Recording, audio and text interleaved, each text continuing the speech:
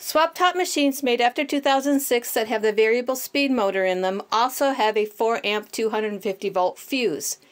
If your machine has stopped working, especially suddenly, it's very likely that you've blown this fuse. This is a very simple thing to fix. First off, make sure that you remove it from its power source entirely.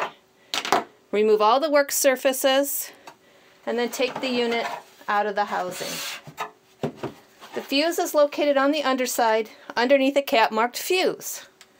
Unscrew to remove and then examine the fuse. If the element is missing or broken, you need to replace it. Take it out, insert the new fuse, push it back into the housing, and tighten in place. Reinstall the unit back in the base.